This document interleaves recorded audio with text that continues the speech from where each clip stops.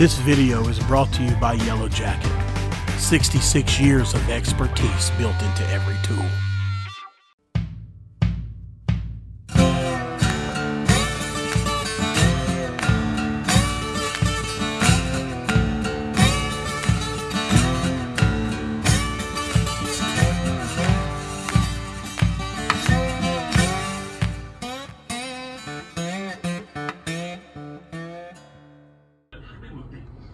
All right, guys, we're in a alteration shop.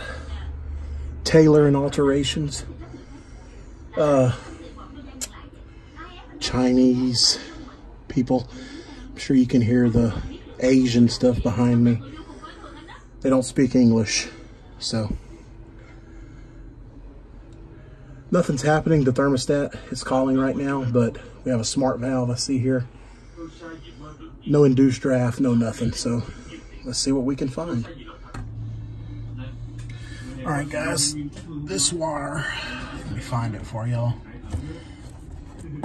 That white one that I just pulled off of there.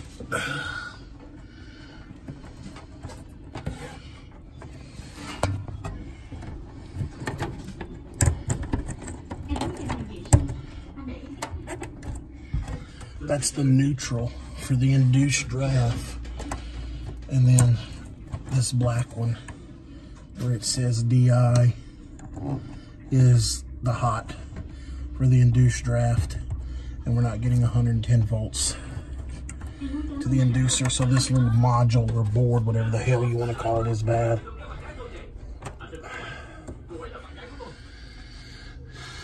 So we'll have to find one of these.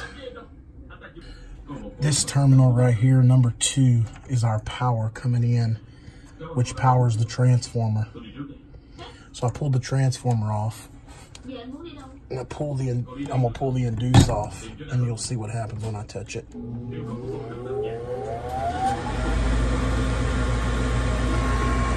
Our inducer comes on. And we are getting a signal for 24 volts. So we got us a bad board here our module board, whatever the hell you want to call this thing. It's a Honeywell. Okay. All right, so we're trying to locate this part. Uh, this furnace is made by Consolidated. Consolidated used, you know, made everybody's furnaces back in the day. Marlin cereal. But there's no name brand on it like, you know, Carrier or nothing. So it's just a consolidated furnace.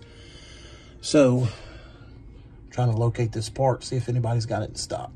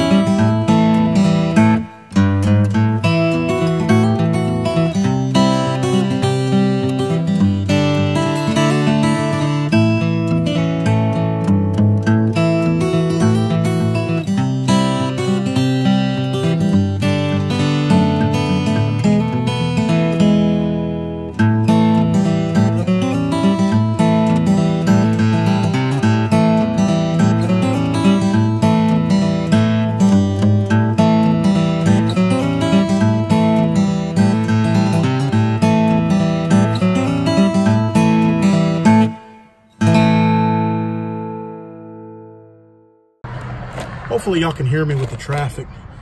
I really like those Honeywell boards. The only thing I don't like about them is that sometimes some of your wires, the terminals are not in the same spot. So your wires don't reach.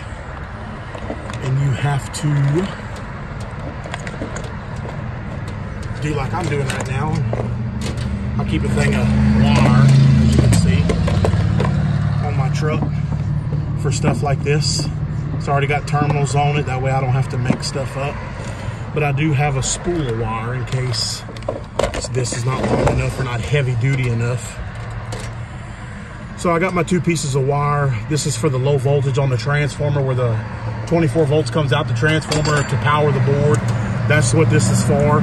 Everything else is wired up. And uh, once I get this tied in, we'll get back with y'all and check her out. Right, I got everything wired up, low voltage and everything. It's time for the moment of truth.